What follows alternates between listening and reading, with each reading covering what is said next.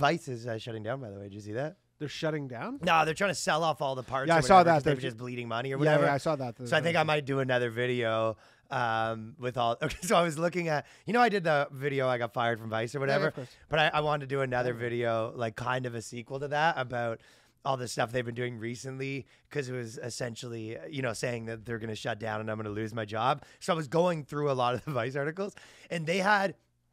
I've uh, talked about a few of them here, or whatever. But one of the things I, would- you know, when you're doing a bit where it's kind of like this, this, this, this, this, this, and you hit on it. So I was gonna put like eight in a row, but there was they had I, I found without working that hard like eight articles that were all around the vein of not gay, but I boned a bunch of guys. course. you know what I mean? Yeah. So I love the idea of just doing like just uh, that you know the good work that I've been doing, and it's all the articles are about like how I'm straight, but you know how straight men are actually sucking dick, right? And then the articles that I was thinking about writing, like how I went to an orgy with 95 guys, but I'm still actually the probably the straightest guy I know. It's you- like I'm married to a dude right now just for fucking Is this gay? yeah, but but it's actually not gay. Why straight men are getting gay married and living with the guy and having sex with him every night?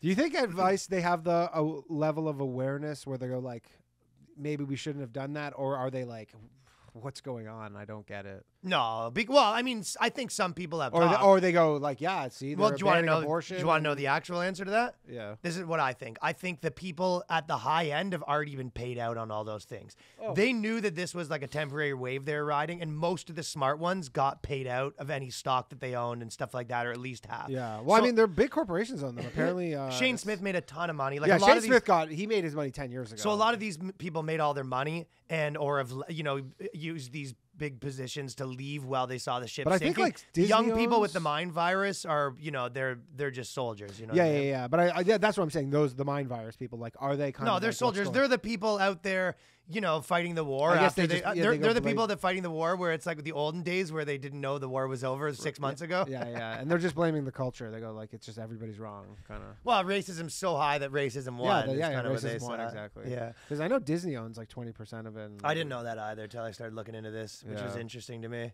Yeah, that's not a good purchase for Disney. Hell no. Do you think we could set up a tier? Be better off with one more roller coaster. Do you think we could set up a tier for the Patreon where if we hit it, we'll buy Vice? yeah, a lot of people were tagging me saying that I should buy it. What do you think the fucking? Uh, I tur- I turned Vice into just like turn fucking straight up for the boys publication. that would be amazing. Probably be successful.